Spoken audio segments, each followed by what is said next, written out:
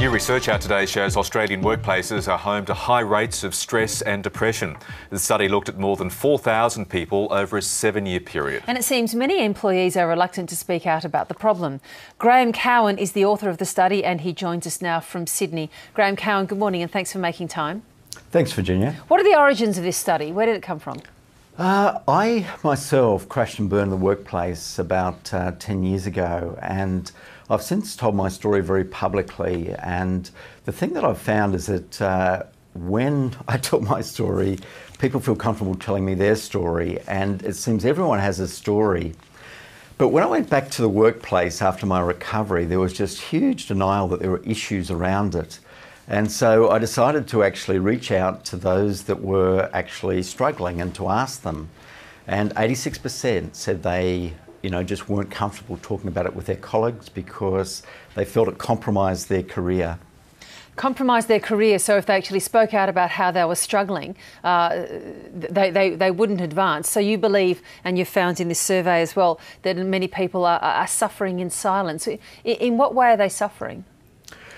Well, they're not seeking help, they're not telling people what's going on for them, and so it's often seen as a performance management issue rather than actual a medical or, or mental health issue. Mm. And, and that means that people aren't getting to the right places. That's, that's the big thing.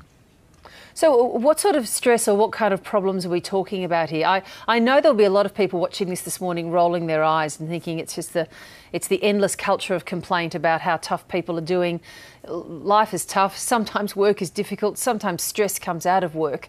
I mean, we need to sort of be specific here about what's just the kind of ordinary stress that you can expect and, and should learn to cope with and what is not.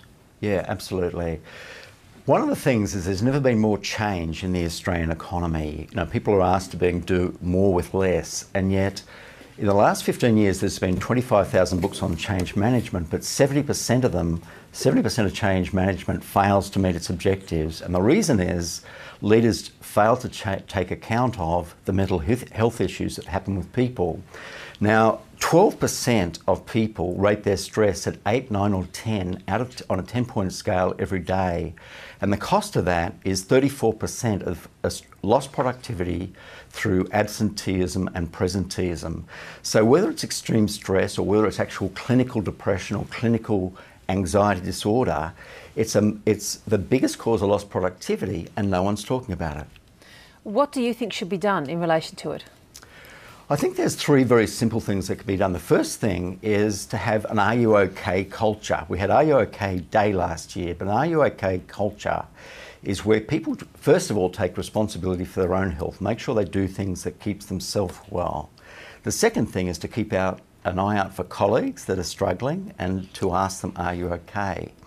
The second thing, and, and this I think is incredibly important, is that we're not going to change this culture of silence overnight. And so it's important that people can access good practical resources anonymously on the internet or on a smartphone app where they don't have to flag it to other people, they mm. get good practical resources.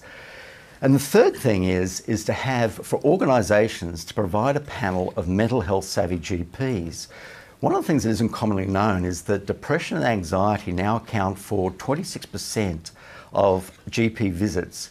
And yet, when a medical student spends six years studying to be a, a GP, they only spend six hours of lectures on depression and anxiety. There's a huge mismatch.